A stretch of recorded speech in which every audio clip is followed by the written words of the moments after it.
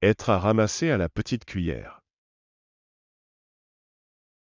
L'expression être à ramasser à la petite cuillère est utilisée pour dire qu'une personne est très fatiguée, épuisée, qu'elle n'a plus aucune énergie.